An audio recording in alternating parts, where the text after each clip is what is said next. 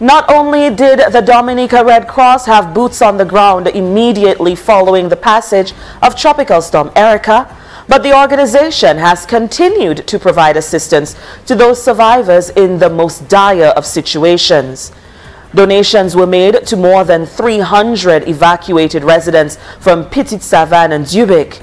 Director General of the Dominica Red Cross, Kathleen Pinard-Byrne, says these donations will assist the evacuees as they transition from temporary residence to more permanent homes.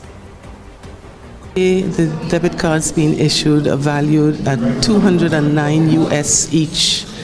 And additionally, we will be providing them with the equivalent of 100 US in EC cash.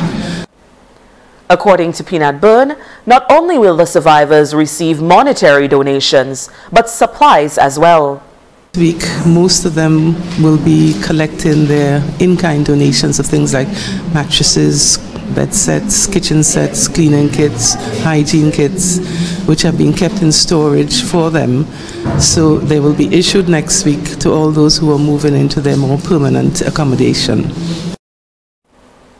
Evacuees Bernard Antoine and Augustus Laura of Petite Savanne expressed their gratitude. The donation that I'm getting right now and thanks for the Red Cross for donating this